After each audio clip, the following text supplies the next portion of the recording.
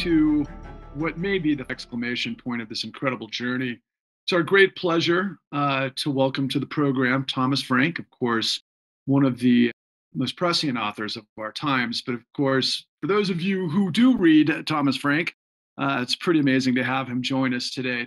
Um, some of the greatest insight into the American experience over the last two decades. I mean, my journey began with What's the Matter with Kansas, all the way through. Listen Liberal, and of course, The People No. Um, three, I would say, tent poles of what our effort is, uh, in addition to you know this historical sort of moment i think which is happening on a on a day by day basis. But thomas i mean you're in the in the middle of so many things obviously continuing to churn out editorials and and uh, podcasts and it's really quite telling to see where your mind is in context to where you've come from can you give us some sort of i don't know perspective if you will on how you might frame um, you know priorities in terms of who and what the United States is at this moment? Oh my goodness, that's a that is a uh, that is a very large question, sir. an uh, opening one. yeah, yeah, that's uh, that's where we're going to start. Like, uh, uh, geez, uh, I would say um, that you know we're we we've just come through the Trump presidency, and it's been a period of radicalization for a lot of people um, on both sides, by the way. I'm not just talking about um, liberals here, but uh, you know, uh, I've had you know all sorts of people that I that I know that were never really politicized. Uh, that you know that always thought that I that, that there was something like wrong with me for being so interested in politics. They've all they've all been politicized uh, by Trump, uh, uh usually by uh, the the mechanism is by watching you know CNN or watching MSNBC or something like that.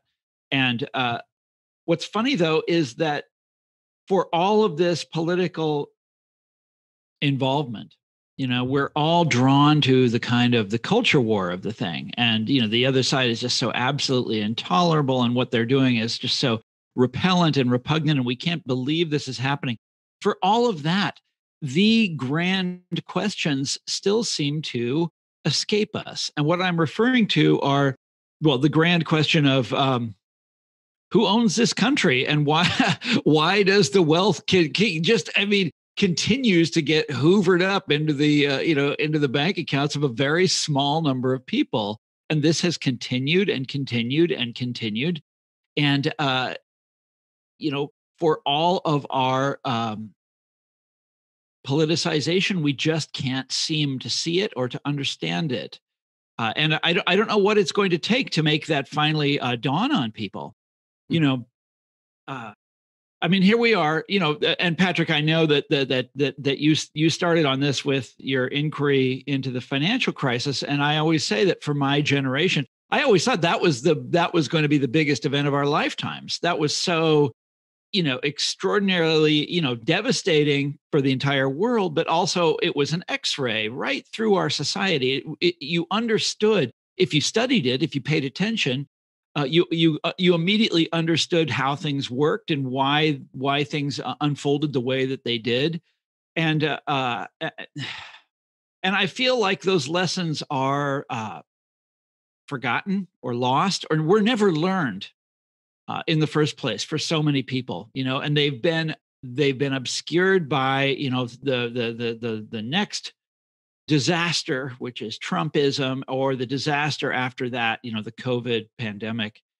Uh, and anyhow, so the, I, I always start with on. A, I like to get these things going on a real happy note like that. You know, re- I really want people to smile. You know, at the start of this. Success.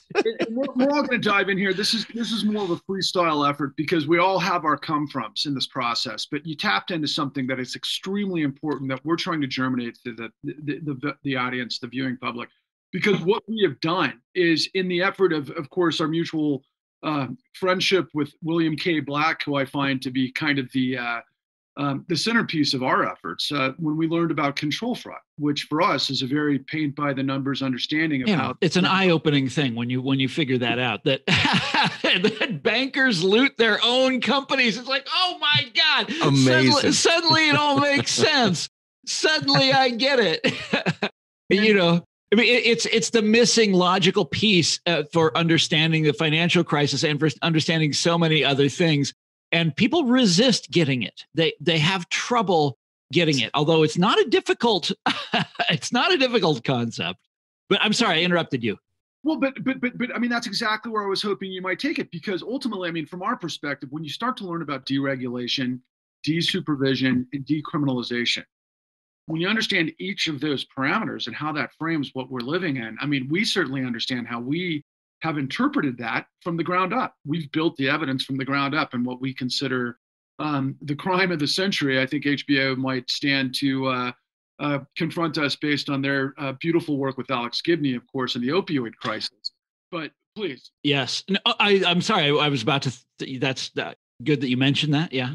But well, I, mean, uh, uh I the, but the, the opioid crisis, I, I forgot to list that in my list of of these incredible disasters.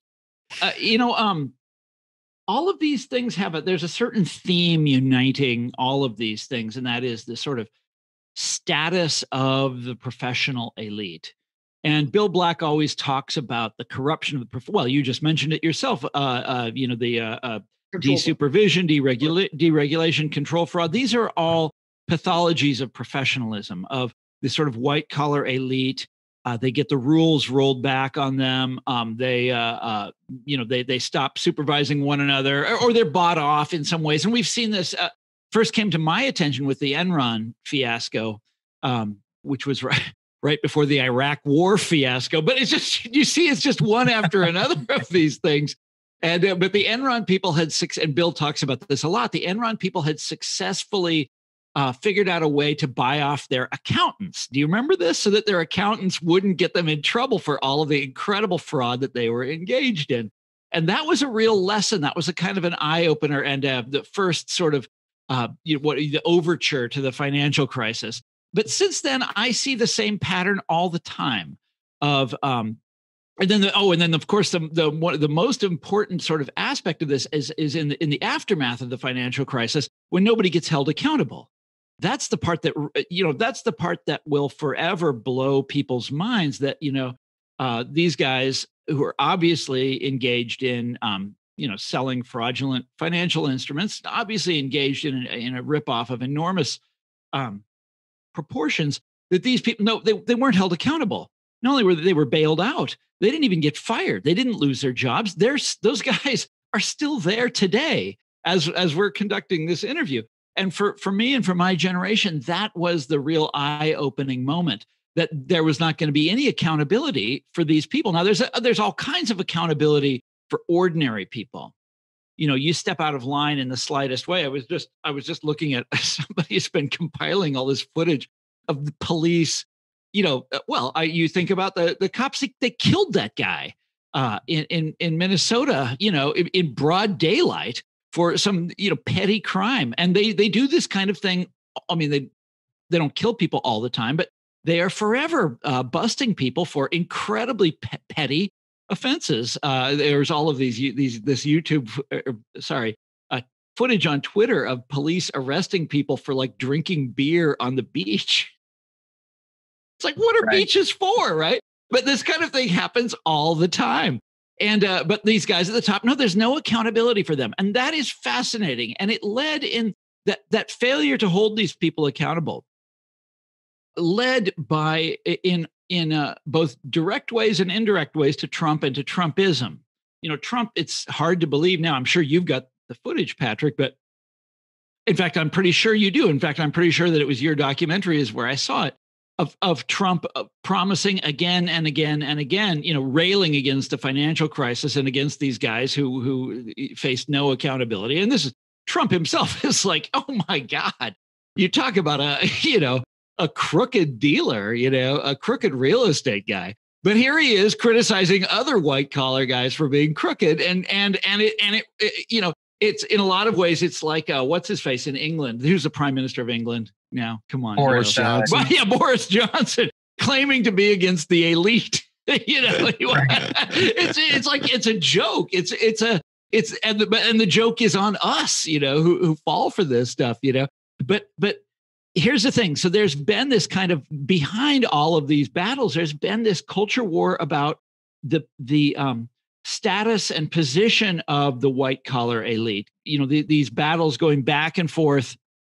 And it was especially uh, uh, these battles were out in the open in t- 2016 after Brexit happened and after Trump got elected, where the, the white collar elite really felt themselves to be under siege. But their answer wasn't to say, well, you know, we've made all these mistakes over the years. We've made, you know, we've we've given bad advice, uh, we've committed crimes, you know, we've we've tanked the global economy, got us into a wrongful war, blah blah blah you know, prescribed uh, these addictive drugs that killed people, you know, handed them out like candy. You know, we did all it. No, no. They said the problem is that the public has lost their mind. The public has gone insane. And they came up with a word for this. It's a word that's very familiar to me because I come from Kansas. The word is populism.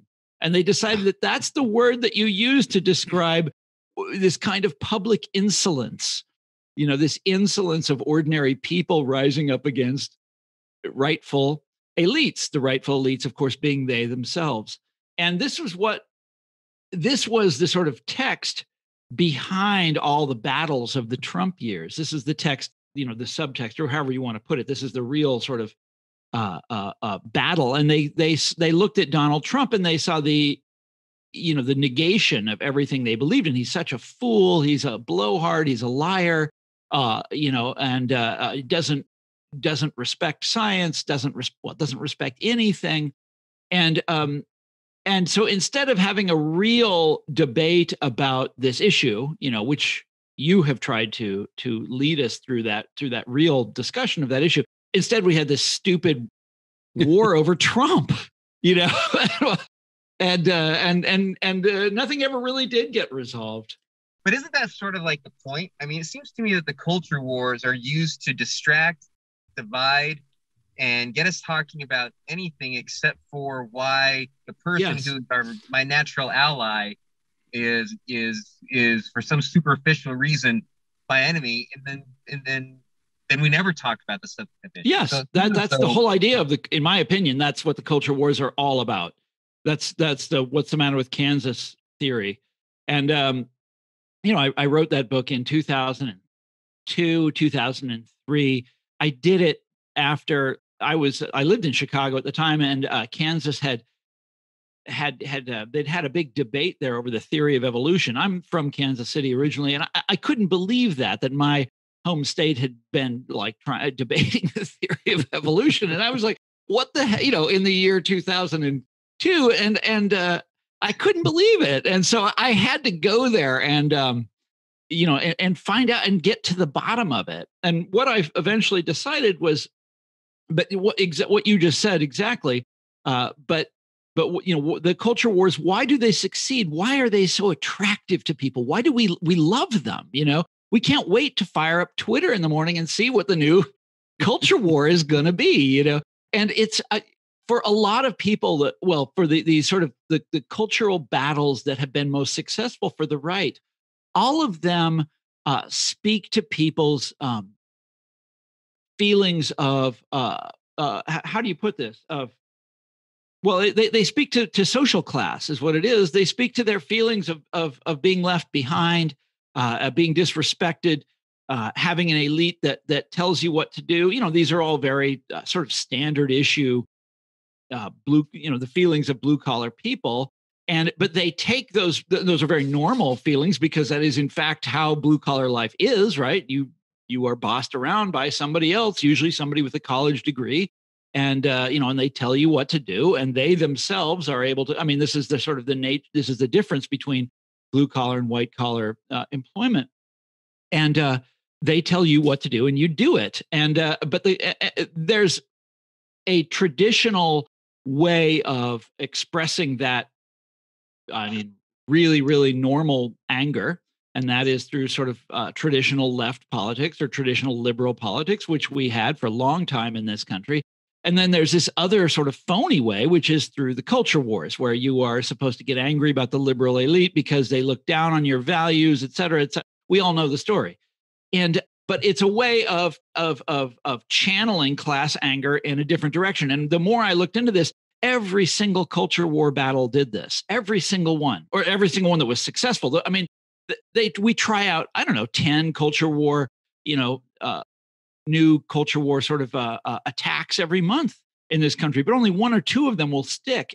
You know, and those are always the ones that that tend to speak most um, eloquently or perversely or however you want to put it to this sense of grievance that people have and, and the, the result is that it becomes very difficult for us to talk about things that we should be aggrieved about the financial crisis jesus christ these guys just wrecked the entire world you know instead we get hijacked and sidetracked by these uh, these these crazy side issues that take us nowhere.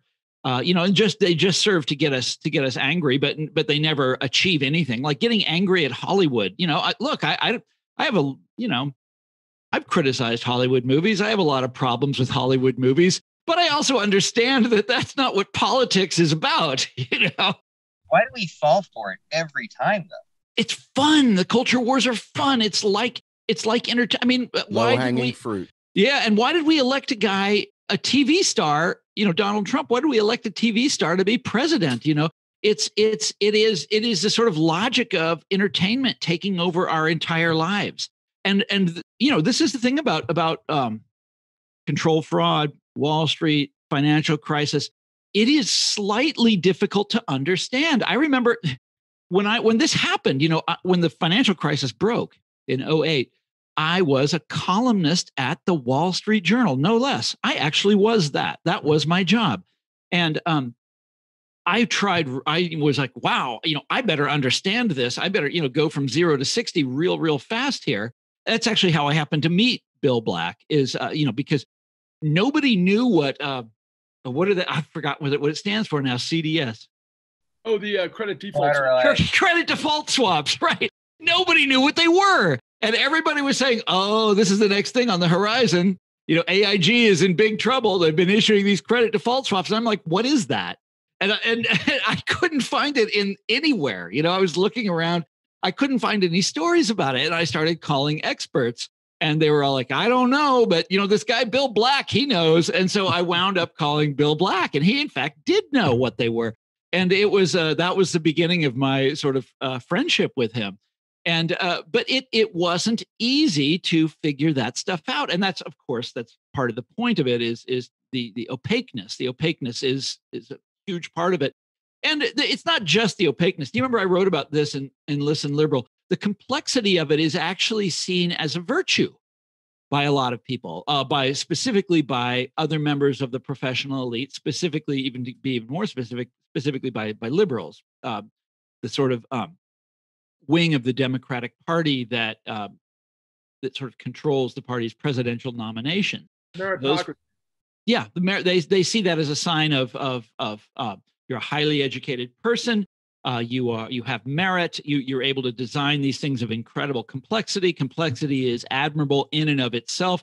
And it always reminds me that Bill Black said, "What you know, in his days as a prosecutor, when we saw undue complexity, that was a red flag. It's like, aha, let's let's look a little deeper but with obama and company when they saw complexity they're like oh that's that's awesome that's that's what you want you know it's exactly the wrong the wrong message unfortunately i mean we just had this um we just went through this this time in our national life where we, where we should have debated these questions openly and we should have talked openly about the role of the elite i mean the public was mad as hell. I mean, rightfully mad as hell at, in the in the in the aftermath of the financial crisis, uh, the opioid epidemic, uh, you know, the Iraq War. These are all cases of of elite bungling, and uh, the public and, and deindustrialization. I mean, my God, this is all remember managed by the the Clinton economic team. They tell us that these these trade agreements are going to uh, they're going to increase employment in America, not hollow out uh, the interior of the country. And then when that is in fact what happens, they they turn around and blame the people who live in those places and say, well, you're just, you know, you didn't go to college or something like that. You know, you're you know, you know how they did. Victim blaming. Blame the victims. People have a perfect right to be furious about this stuff and to look at the white collar elites in this country and and and uh, and be absolutely furious. And uh, I'll say this, I'll go even one step further. people who want to be part of the white collar elite are furious also because they're discovering now that to, to, to become part of that is extremely expensive. Universities have become, you know, they've raised their tuition now more or less constantly since the early 1980s. And it's no longer affordable. I mean, when my dad went to college in the 1940s, it was either free or really, really, really close to free. And now it's, um, uh, you know, I went to the University of Chicago for graduate school. Uh, it costs that that school costs over 80 grand a year to go. Nobody can afford that. I mean, the very rich can afford that, but ordinary people simply can't. And uh, they're, you know, the ruination that this has brought down on a generation of young people who were told that this is the only way to get ahead in American life. This is the only way to be a part, a middle class, you know, part of the middle class. And uh, then look, look what happens. Then they're saddled with a lifetime of student debt. And I'm not joking about that. I get emails from people in this situation all the time. I got one the other day from not from a student who had taken out student loans, it was from parents who had taken out student loans and they're going to die with those student loans. I mean, they're in their 60s and there is no solution for them. And the student loans are the interest rate is insane. And but they had to do it. You know, the president, the president, everybody was telling them your kid will not will your kid will go nowhere unless they go to uh, you know fancy school and uh, uh, and if you can't afford it you can take out the student loans and we're going to make sure that everything works for you and it's you know these people who thought they could be members of that white collar group are now they're screwed. This is uh, it is ruination across the board for a lot of americans uh, and uh, and yes we need to have a uh, a society wide reckoning on all of these questions and instead we got trump.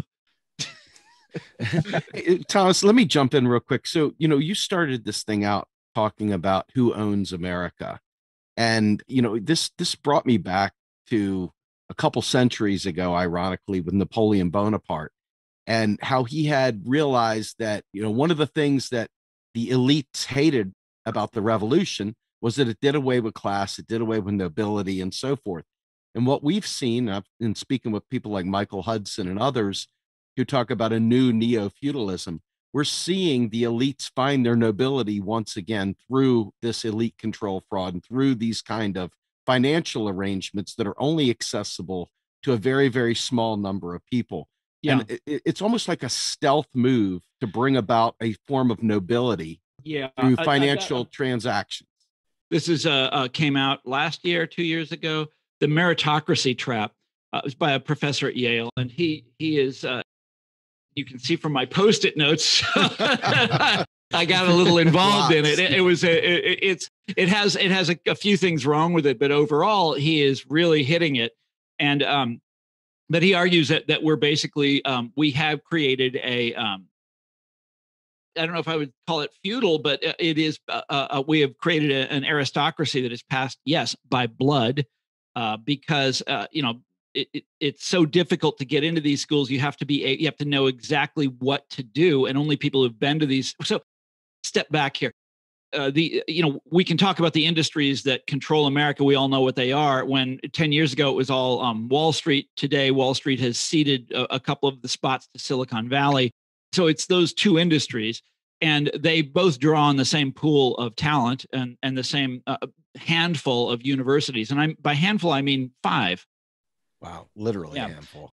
You know, or maybe six. You know, but but uh, not not very many and anybody outside of anybody that that and it is it is literally graduates of those universities that's who they choose and um they're very open about this this is not a secret and if you're if you're not one of those people if you didn't go to one of those universities that you can you can forget about being a part of this of this ruling elite okay so then we say well those those universities we all know they are uh, you know it, careers are as napoleon said careers are open to talent you know the, the they they choose the best and the brightest. And so they're you know no problem right? Because the best and the brightest it changes all the time. Actually that's not the case. It's very easy to not easy but it can be done. You can game entrance into these things uh, into these these schools. It's not hard to do but it is expensive to do and you have to know how to do it. And uh, this also is, is is fairly well known and the the the parents who went to these schools are able to do that for their kids. And so you do see uh, dynastic wealth returning in this country.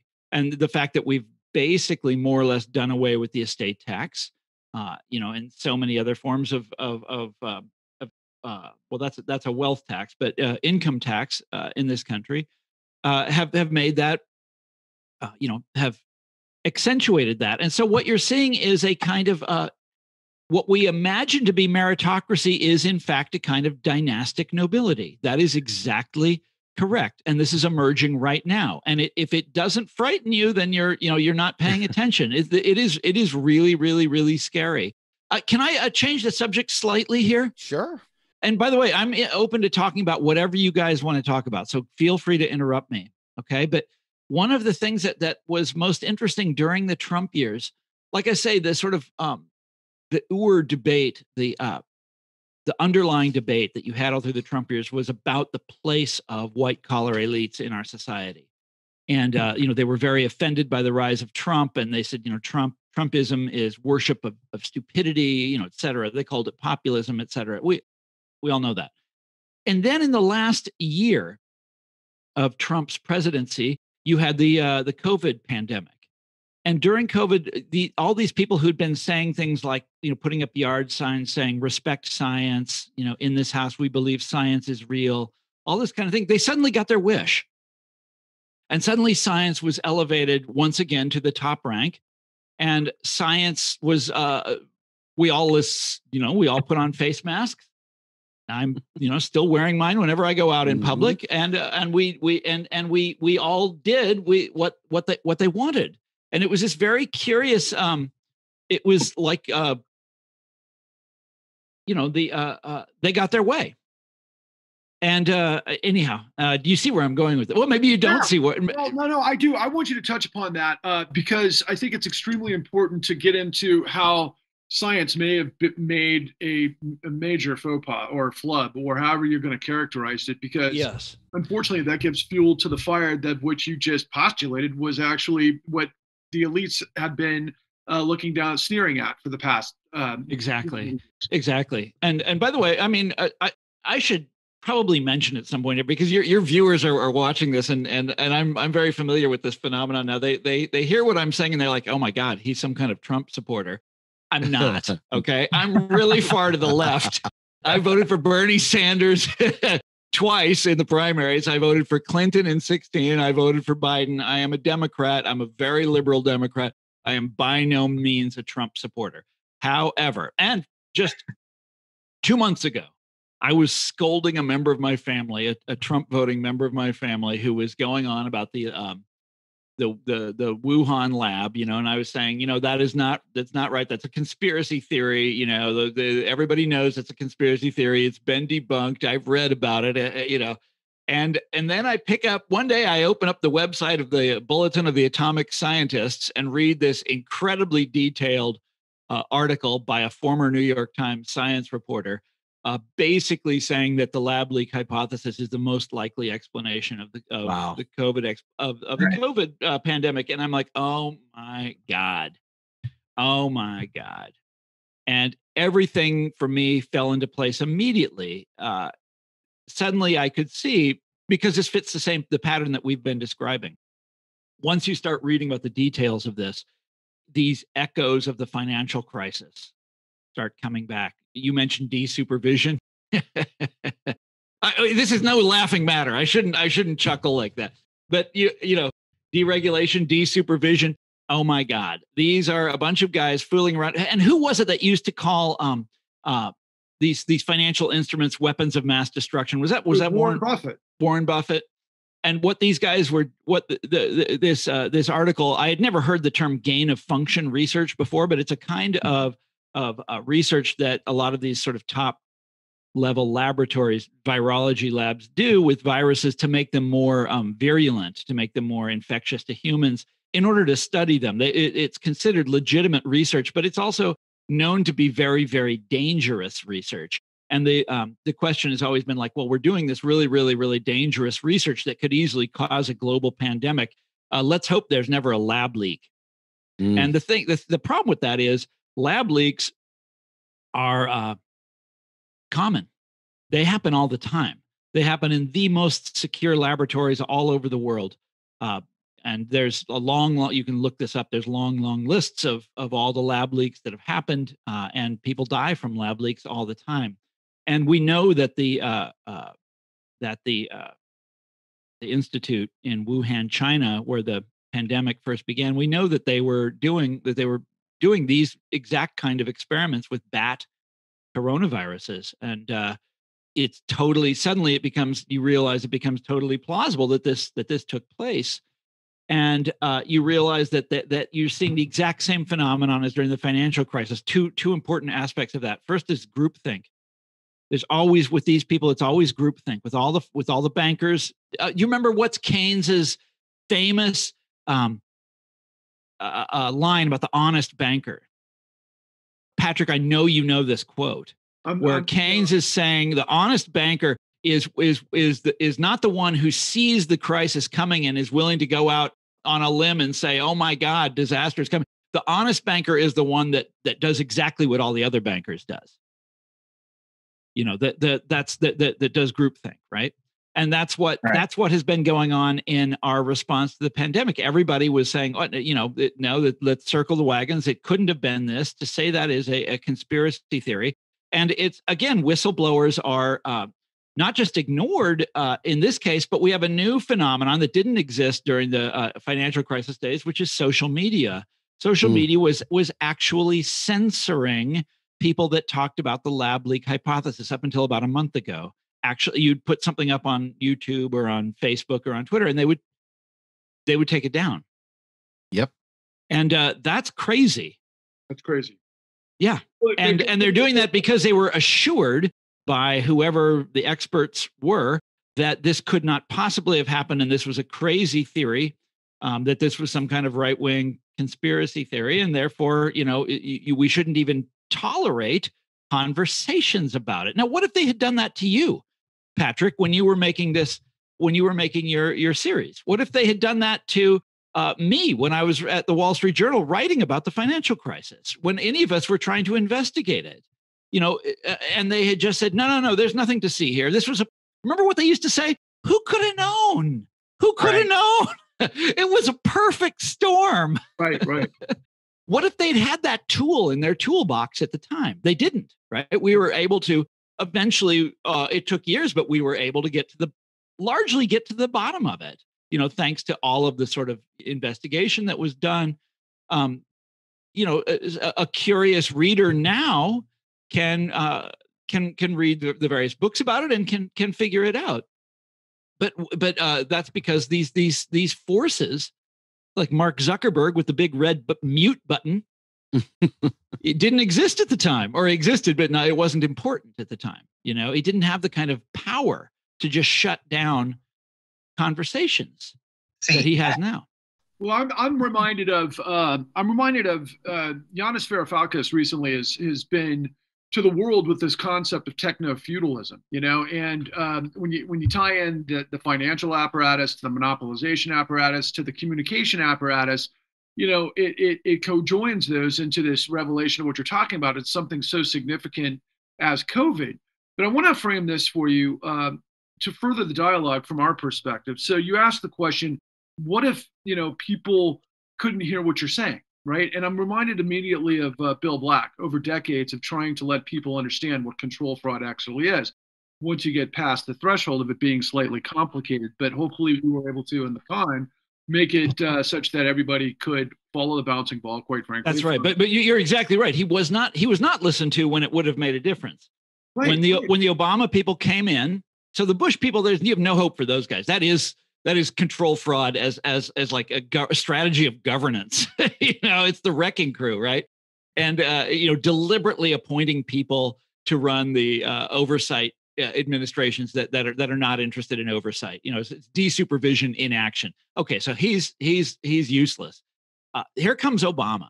Obama seems like a breath of fresh air. Obama seems to get it. Obama even filmed a campaign commercial featuring Bill Black, as we all know uh, where he's talking about the um uh, uh what's the scandal in the 80s um savings and loans the Keating Five.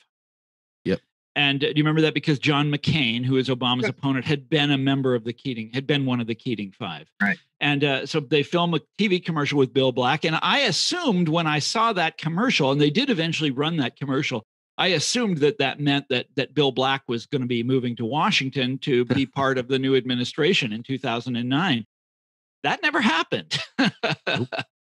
and Yeah. uh, and it took it took years for him to get his message out uh, and to get people to listen to it. And it's still not widely um, understood. Well, but I want to carry that to why I think that you are so incredibly valuable to the nation writ large, based on where you have come from in your arc, from you know what's the matter with Kansas all the way through the people No, because really populism has this misnomer with this elite uh, culture to put us into camps that have been uh, very well, quite frankly, I'll borrow from Pink Floyd. You know, it's either us or them, right? And so in the end, for me, what we were able to configure, and, and it, it just boggles my mind when I think of gatekeepers, when I think of people who don't understand the continuum, is that you know they might think a specific element of of, of any of these specific stories that we're referencing uh, as something that might be historical or dated. No, it's con- continuation because it never ends. There's just a different virus that enables it to continue in the manner that we're talking about.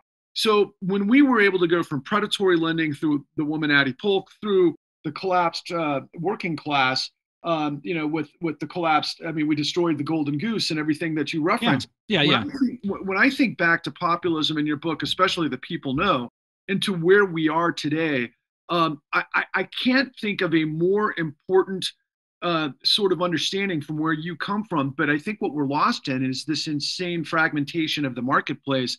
So we're trying desperately, like you mentioned previously, to get the dialogue on the things that seemingly are out of reach into a way that the mainstream or most of us, both on either sides of this coin, can c- come to the understanding that we're all getting played. How do we move that into a populist movement? Oh my God, Patrick, that's like eight questions, not one. Okay, but let's let's let's first let's start with what the words what the words mean and what they what they might mean if you if you wanted to have a hopeful outlook about things. The the, the all of this this the attacks on populism, what I call anti, very forthright, I think straightforwardly anti-populism. All of this reaction against uh, populism, all of these people denouncing populism as a form of insolence as a form of like militant stupidity right that's what they that's what they think populism is and um that's of course that's that's not what it is but there, it's also in, in a sense it, it does clue us into the to the real debate which is uh, elites feel that they are threatened that their prerogatives and their status and all that sort of thing are threatened by ordinary americans uh, who are rea- who who have no reason to complain that this is all um mm, this is all mm, groundless anxiety. My point is these people have a perfect right to explain a b uh, um, er, explain. These people have a perfect right to complain. They're entitled to their grievances. Their grievances are grievances are extremely rational okay? B this is a democracy. The people rule. I mean we are america is a democracy and it's it's not just a democracy. It's you guys know this it's the most democratic country in the world in terms of manners and culture. It's the most egalitarian, anti elitist culture in the world. Uh, there's nobody that even comes close to us, in my opinion. Um, democracy is who we are. And if you're going to say, if you're, you know, if your uh, political, um, you know, if your party of the left is based on a contempt for ordinary people, you're going to have terrible problems. And the, the third point is this for the, the the country that I was born into, and that you guys are about my same age, that we were all born into, in in in that country, the it, we, you know, you look back at the like the speeches of Lyndon Johnson or something like that. We understood what uh, the Democrats, the Democratic Party, which was the dominant party in those days, understood what the economy was about and what the mission of government was about, and it was to extend the middle class standard of living to more and more and more Americans all the time, widen the circle of prosperity make it more a democratic prosperity. That's what it was about. And this was they they did this because the you know they came from a populist heritage. They understood that the you know that the people's uh, general you know their their economic longings and their um, you know the, the people had the right idea. They may not always express it correctly. They may not be right uh, a hundred percent of the time about every detail, but in their desire to lead a, you know, to have a middle class standard of living, the people were right. There's a famous book in the 1930s that I take my title from, The People Yes, this celebration of ordinary Americans. I mean, that's what the 1930s was all about in this country. That's what the Roosevelt administration was all about. The people, yes. Uh, and you would, uh, you know, the idea was you would, uh, you would, you would control Wall Street. You would, um, you would bring the financial system and the economic system generally under control in order to guarantee prosperity to the largest number of ordinary Americans that you possibly could. That was the whole idea. That's what it was all about. And then at some point we have, uh, but you know, you look at uh, at the at the the way the system is today, and we our elites, even our liberal elites, even the ones in the Democratic Party, deeply mistrust the uh, uh, you know the the, the ordinary Americans, deeply distrust the populist impulse. Um, I want to say something about the uh, actual populists, the people where the word came from, and they you know they were a left wing party of working class people, of farmers and and and uh, you know industrial workers in the in the 19th century, and they weren't contemptuous of science. They weren't contemptuous of higher learning. They themselves were not learned people. Obviously, they were, you know, farmers and workers. They would, you know, by and large had not gone to university, but they were very respectful of people who had. But they could also see that the sort of reigning economic theories of their days, which they talked about all the time in their, you know, local populist clubs, they knew what those theories were. Um, this is sort of classical economics, was the reigning economic theory of the time. They could see that those theories had no place for them and that those theories didn't have a uh, you know didn't allow for the prosperity of ordinary people and so they demanded you know that even though they themselves were not economists they were uh, very very very interested in economic debates. And i think that is healthy healthy and wholesome. And the populists had a way of thinking about um, intellectual disputes that it would be i think it would be healthy for us to rediscover today which is you have to be able to explain your um, highbrow intellectual ideas to ordinary people if you know if you want them to debate these things. And this is a democracy by definition they have to understand those things those people have to go out and vote for our politicians that's what a democracy is therefore you have to bring those ideas to, to ordinary people and the populists not only believed in this they did this and they set up this enormous apparatus for bringing uh, these ideas to ordinary people and explaining them in a way that ordinary people could understand. Um, that's what the populist party was all about. Well, today we don't um, we don't believe in that anymore. As I said, we worship at the shrine of science and we worship at the shrine of complexity, and we uh, you know we have basically made meritocracy and you know this white collar status into uh, inherited things, you know, passed almost by blood it, it, we we are 180 degrees the opposite of that. And so, yeah, these revolt open. You know, people are furious as they watch this way of life that they were brought up to expect, uh, as they watch that being taken away from them. They watch their community being destroyed by deindustrialization and opioids. And uh, yeah, here comes a demagogue, you know, to exploit that. That's what happens when you don't have a real party of the populist left, which the Democratic Party mm-hmm. used to be, when that doesn't exist any longer. When you talked about the economics and, and the people not really understanding, so much of what we're talking about with this elite control fraud and understanding people get chain. control fraud. You know what? What? Uh, but they do get that. That's incredibly uh, an easy idea to get and a really attractive idea to get. The problem is that nobody ever talks about it. You know, and and when I, I know when Bill Black would like explain it to the FBI, they'd be like, "Huh? You know, how can that be true? What? How could a banker want to issue bad loans? They don't. They it doesn't compute, but it does to. Uh, I mean, like if I when I explain that to um, members of my family who don't know anything about economics, they get that. They get that instantly. They get that instantly. It's the easiest thing in the world. This is all predicated on watching. You'll, you'll notice the news comes out with stories about the Federal Reserve has bailed out so and so. They've they've quantitatively eased their way out of this problem. The the new the latest emergency fund is supporting banks or supporting shadow banks are supporting anything other than we the people. And so, you know, folks like myself who are in the modern monetary theory camp who have been working with uh, advisors from Bernie Sanders campaign, like Stephanie Kelton and others, you know, we're, in the process of trying to explain that, hey, you know, that game Monopoly, you know, when you run out of money in Monopoly and you just write it on, pay, you know. That's all we're doing here, too. The only difference is they've convinced you that they don't have a pen and paper to write when it comes to we the people. But Yeah, as minute yeah, there's the problem right. with the bomb, there's a minute there's a an oligarch that needs some sweetening, the money's there instantly. Yeah, yeah. So I think that this perversion. Yeah, you're talking about this is the old old uh, uh the deficit hawk. You uh, got it. Crap, you know that when the Republicans are out of power, they're always. I, I remember this from my childhood. Jimmy Carter was president, and Ronald Reagan is is coming up as you know radio commentator, complaining, complaining, complaining about uh about uh, uh you know deficits and now they're spending money they don't have, and then and then they get in power. What does he do? You remember Reagan, like the biggest budget deficit of all time, Right. You know? But then you know for the military, right? They gotta they gotta they gotta pump up the Pentagon spending and then and then it happens again. And then they you know they complain bitterly about bill clinton. And he, they actually get him to balance the budget. Do you remember that? He he was as good a Republican as any he was Republican ever he- was. a oh my god he actually meant it. He was like he didn't realize that that was it was all a con. He had he- you know he thought it was on the level and he went and did it you know? He was a better republican than they were. Absolutely. and then and then and then Bush gets back in and is like, uh, you know, hits the gas again. You know, standing on the accelerator. Oh my God! Yeah, they love that game. They love doing that. Where are we it. now? We have a Democrat in there. Are they doing it yet? Are they compla Yes. Why? Yes, they are. Let's check your watch. Yes, they are.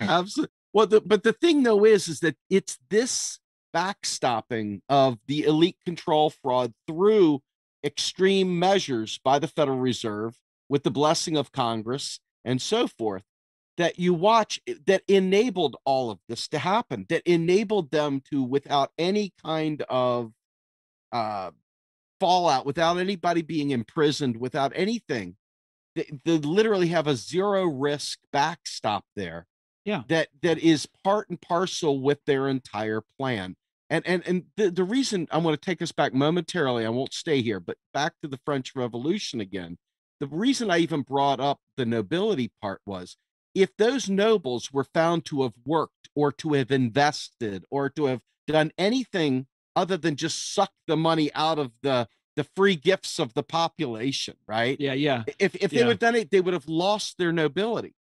And so they baked this thing in to where they I, I remember hearing they worked. They income. they worked pretty hard, like standing around Louis's bed in the morning. You know, when he would wake up. What Have did they call that? They had a and name for that. And then and then the other ones who stood around his bed as he went to as he as he drifted off to sleep. That was that was hard work, Stephen. Well, to me, I mean, I think it was, uh, I think it's a kind of the point of uh, Piketty's uh, capital, right? That that uh, the uh, American and French revolutions were in response to the aristocracy, and instead of like rule by hereditary title, but uh, uh, rather rule of law.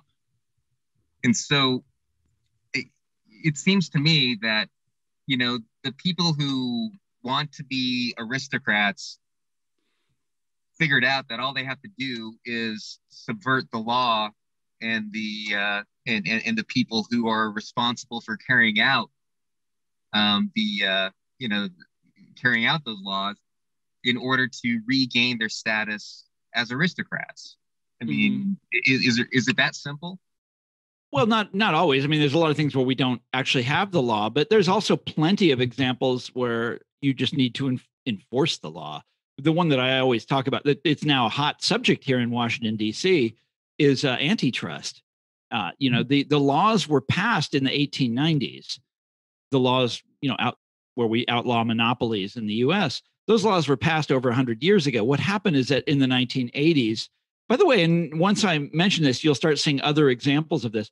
But in the 1980s, the sort of uh, legal community decided that uh, that it wasn't a good idea. The ec- law and economics community decided that it wasn't a good idea to enforce those laws anymore. Um, not to repeal them; the public would never stand for that.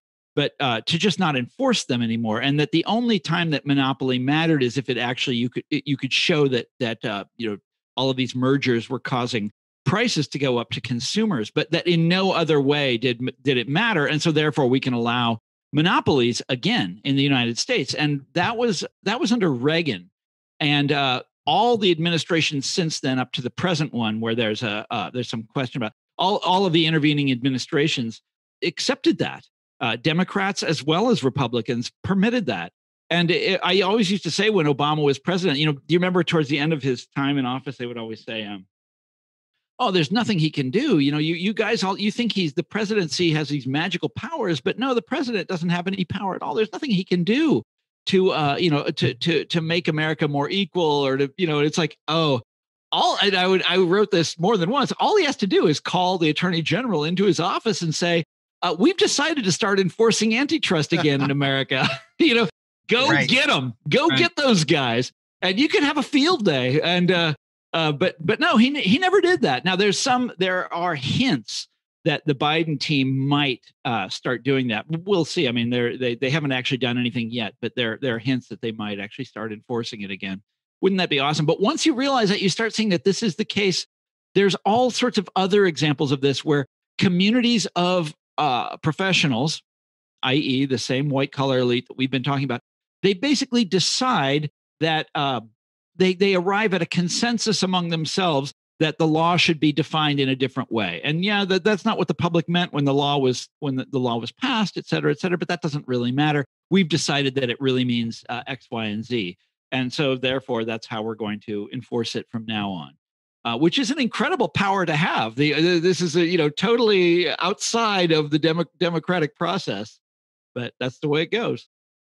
Well, I think it's an incredible way to end this dialogue because you know the, the purpose for us was to try to find that hopefully zeitgeist to inspire our audience to to further their knowledge and, and i would encourage please everybody uh, to go to thomas frank's website to check out his offerings i mean what's the matter with kansas the people No of course listen liberal those are just prescient works to make us understand what reality has been for decades now and um, in that context thomas you know eric had teed up for us before we even started this journey. I mean, he, you know, I was asking him to postulate really kind of a, a theme for what it was that he thought we were about to dive into. And he wrote um, an essay called The New Aristocracy. And I can't believe this many years later, quite frankly, that that's pretty much what we unpacked. Of course, Bill Black taking us to that that point. And in, in, your you know your final point about uh, you know enforcement to us is really what it's all about because this movement that we're trying to galvanize we're trying to become a populist center of gravity to create a civil rights like movement to purge corruption. I give you the last word. It, well, uh, Eric would was completely right about the new aristocracy. That is that is happening. That is that has come to pass, uh, and we we definitely need some kind of reckoning with that here in the U.S. Um, and uh, how do you build a populist movement? Well, that's uh, so. Patrick, you ask the that is the $64 question that everybody all the historians who care about these things have tried to ask there's a man called larry goodwyn he's he's dead now he would be a otherwise he'd be a perfect uh, guy to have on your show but he wrote the classic history of the populist movement. It came out in the 1970s it was called democratic promise. And he got interested in populism when he in the 1960s when he had been a civil rights organizer in texas. And he was you know doing this kind of organizing and he learned that there had been this this movement uh, whatever 80 years before that had done a lot of similar things and he'd never heard of pop populism he started looking into it. He got very interested in it and he wound up writing the authoritative history of it. Once he was done with that then he um he he wrote a bunch of theoretical stuff about how you build mass democratic movements of ordinary americans for economic reform how do you do that uh, it's very difficult but there's been three really important examples in our in, in modern times that we know of. The populist movement in the 1890s, which was uh, uh, these are all transracial movements, by the way. The populists were a movement of farmers and workers uh, who obviously challenged Wall Street, challenged the sort of economic ruling class of the day. The uh, labor movement in the 1930s, which just was explosive, grew by these incredible leaps did the same thing, but actually enjoyed quite a bit of success. The populists um, wound up losing. It took a long time for their reforms to happen. They did happen eventually, but they lost at you know at, at first. the uh, labor movement in the 1930s actually won. They won all kinds of enormous victories, and they basically pioneered the middle class society that that we all grew up in. And then the third example is, of course, the civil rights movement in the 1960s, which uh, you know was this very intensely populist movement, movement of ordinary people in the South, uh, you know, going out and claiming their voting rights and doing this en masse. And, and it wasn't about leaders and it wasn't about experts, it was about ordinary citizens. And towards the end, you know, it was starting to turn into a movement that wanted to challenge economic oligarchy. This is Martin Luther King talked about this all the time. It was becoming that kind of movement. And that was his idea. That was his, he and Bayard Rustin, that was their grand idea was to transition from civil rights into economic rights and then he was murdered of course and and it never the movement never really got there but you have these three great upheavals in our history upheavals of ordinary people transracial movements demanding economic justice how do you ca- how do you make that happen again and this is we've all been struggling with that and everybody that that uh, you know that learns these things struggles with that because they realize right away that this other model the, the model that the Democratic Party has for reform, which is you know put the elites in charge, put the put the smart people in charge, and they'll figure it out for you. That that always fails. That model is what gives you the bailouts. That model is what gives you the you know the Obama administration, which, as I said at the start, looked real good when it first came in, but then look what happens when you let the when when you just leave it in the hands of of the uh, of the professionals and the you know the lobbyists in Washington. This is always what they're going to do. Okay, you have to have the mass populist movement if you really want to get results. You have to. There's no substitute for that. Well, how do you build it? It's incredibly difficult. Okay, that's it. I'll see you guys some other time.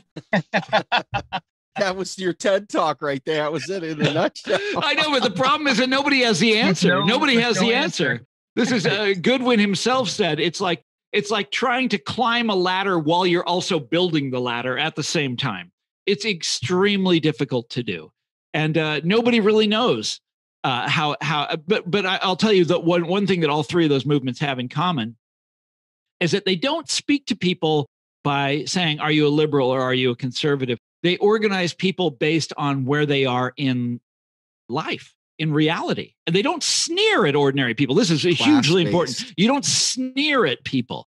You organize people. You you you you talk to them in a way that resonates with with how they actually live. So you're talking to farmers about farm problems. You're talking to workers about the workplace and about unemployment you're talking to uh, black people in the south who aren't permitted to vote about their right to vote and then about their economic situation. And then you get all these white you know the white workers also uh, signing up and joining forces with you. That's how you do it. You talk to people about their lived reality.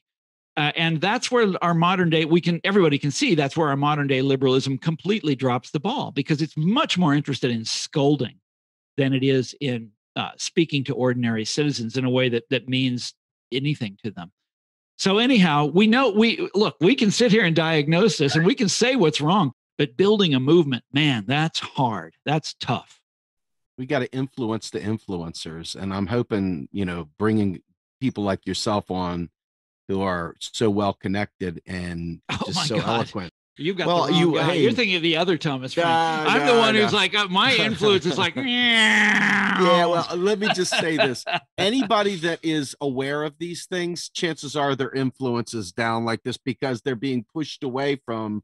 The yeah, spotlight. there's no interest. There's no interest in this stuff. None. Exactly. It's funny how vested our our sort of political establishment is in the war between uh, good people and Trump, you know, the the good guys and Trumpism.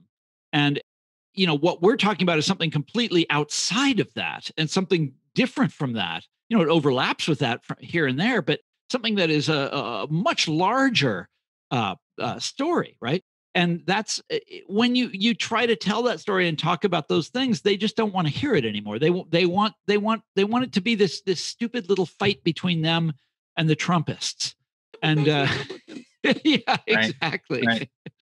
Well, it's brilliantly stated, Thomas. And, and, you know, to close this out from my perspective, and I'll obviously, if anybody else wants to offer any final thoughts, but really, I think what Steve just said is so incredibly important because we do have to have nodes of allies. And I think that what you've demonstrated, I mean, we're nobodies. And yet here we are talking to somebody that we all admire is, is somebody who's a huge influence on, on what we've become. So thank you for that. Um, and I'll just say that we're just, we're, we're, desperately trying to move the ball forward based on, and I'll, and I'll say it uh, probably for a fifth time in this conversation. I apologize to be redundant, but a civil rights like movement to purge corruption because it's central there you go. everything you said. It's central to the problems of the plight of the South and gerrymandering. It's central to you know the the white working class or just working class you know writ large, and it combines all of these. And the confluence has got to be liberty and justice for all, because if it's not that, what is it? It's yeah. everything you identify. You said it. That is exactly right. Thank you very much for your time, and this was fantastic.